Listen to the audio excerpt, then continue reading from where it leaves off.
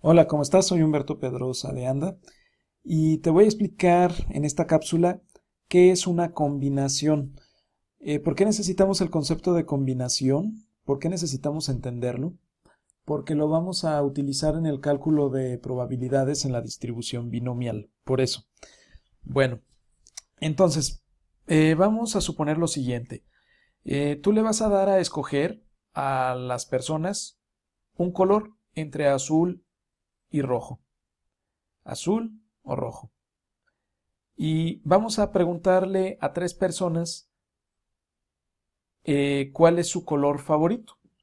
Entonces, la primera persona te puede decir que le gusta el color azul. Pero también eh, esa misma primera persona podría decirte que le gusta el color rojo. Voy a representar esto mediante un diagrama de árbol.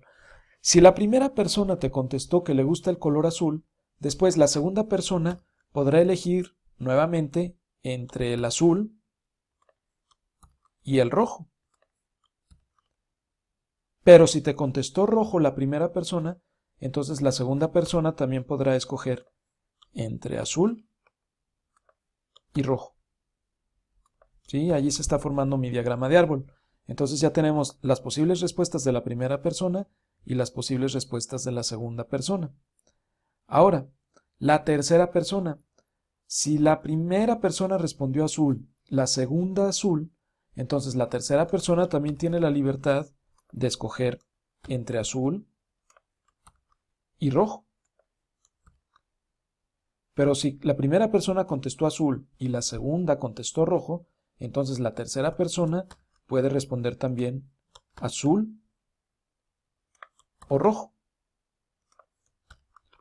¿Sí? Pero también si la primera persona contestó rojo, la segunda azul, la tercera persona nuevamente puede elegir entre azul y rojo. Y asimismo, si la primera persona contestó rojo, la segunda persona contestó rojo, la tercera persona nuevamente podrá elegir entre azul y rojo. ¿Sí? Entonces tenemos una, dos, tres, cuatro, cinco, seis, siete y ocho ramas en nuestro diagrama de árbol. Entonces, ¿de cuántas maneras diferentes puede contestar las personas? Tenemos ocho maneras diferentes como pueden eh, contestar las personas. Ahora fíjate lo que te voy a, a preguntar. De tres personas, en tres personas, yo quiero que dos personas me contesten que les gusta el color azul. ¿En cuántas ramas sucede eso? Dos personas exactamente. En esta rama no, porque hay tres. En esta rama sí. En esta sí se cumple. Hay dos personas que contestan que les gusta el color azul. En esta otra rama también se cumple. Hay dos personas que les gusta el color azul. En esta rama no se cumple. Solamente hay una persona que le gusta el color azul. Ahora, acá. En esta rama sí se cumple. Hay dos personas a las que les gusta el color azul. En esta rama no se cumple. Solamente hay una persona a la que le gusta el color azul. En esta rama tampoco se cumple, solamente hay una persona a la que le gusta el color azul. Y en la última rama mucho menos se cumple. A ninguna persona le gustó el color azul. ¿Sí? Entonces, ¿de cuántas maneras diferentes puede ser que haya dos personas de tres que les gusta el color azul? De una, dos y tres maneras diferentes. Este es precisamente el concepto de combinación de un total de tres personas, hay dos, yo quiero dos que les guste el color azul, y eso puede suceder de tres formas diferentes, de tres combinaciones diferentes. Ahora, hay una fórmula matemática que me ayuda a encontrar esto sin necesidad de dibujar mi diagrama de árbol como lo acabo de hacer aquí.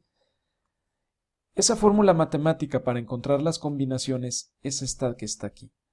n factorial entre n menos r factorial multiplicado por r factorial. ¿Qué es n y qué es r? n es el total, en este caso, de personas.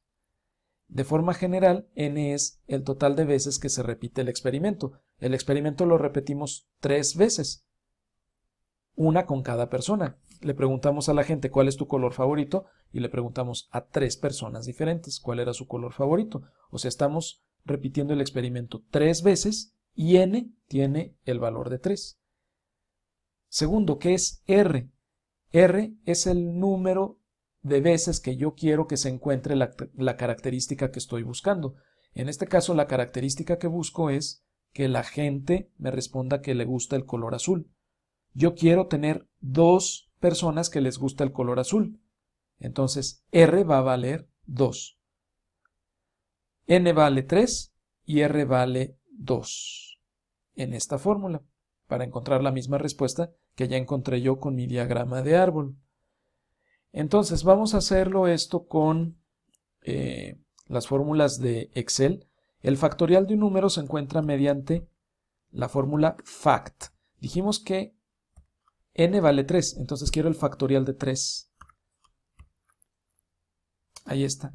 Factorial de 3 es 6. Es esto de aquí, n factorial. Por cierto, ¿qué es un factorial? En el caso del 3 no es otra cosa más que la multiplicación de 3 por 2 por 1. Ese es el factorial de 3. Factorial de 3. Imagínate tú ahora que quisieras encontrar el factorial de 5. ¿Cuál sería el factorial de 5? Ah, pues sería 5 por 4 por 3 por 2 por 1. 120. Este es el factorial de 5. Ahora imagínate que quieres el factorial de 10. Ah, pues va a ser 10 por 9 por 8 por 7 por 6 por 5 por 4 por 3 por 2 y por 1. Ese es el factorial de 10. Factorial de 10. ¿Sí? Ese es el concepto de factorial. Bueno, eh, hay algunas reglas del factorial. ¿Cuál es el factorial de 1? Ah, pues muy sencillo, es simplemente multiplicar 1. Así solo. El factorial de 1 es 1. Y ahora, ¿cuál será el factorial de 0? Vamos a sacarlo con la fórmula de Excel. El factorial de 0, por definición, es también 1. El factorial de 0. ¿Sí? Bueno, una vez que entendimos el concepto de factorial, regresemos a la fórmula para encontrar las combinaciones.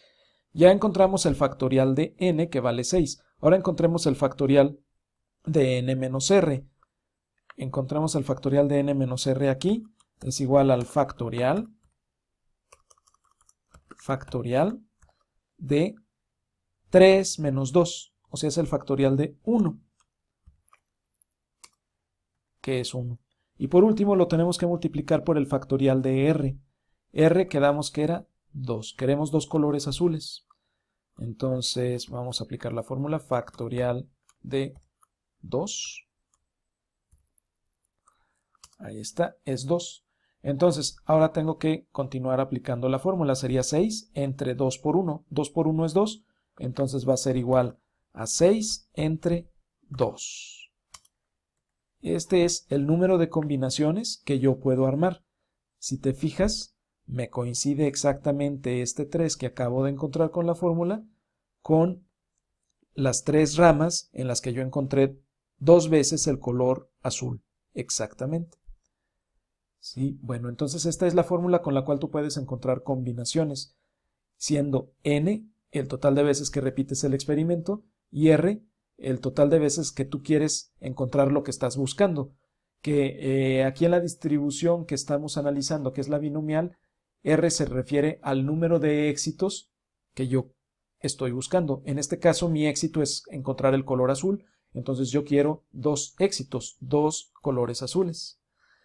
Eh, y todavía te lo voy a simplificar más. Esta es la fórmula matemática para encontrar combinaciones, pero Excel nos da la facilidad también de usar una fórmula que ya directamente me da las combinaciones. Escribimos igual a combin, abrimos paréntesis, y vamos a ingresar el valor de n primero, 3, y luego escribimos una coma y después escribimos el valor de r, que es 2. Y ahí está, nos da nuevamente 3. ¿Sí? Entonces tenemos tres métodos para encontrar las combinaciones. Uno es mediante un diagrama de árbol, que va a ser muy tardado. Otro es aplicando esta fórmula de aquí. Y el último es aplicar la fórmula de Excel para encontrar las combinaciones. Gracias por tu atención, hasta luego.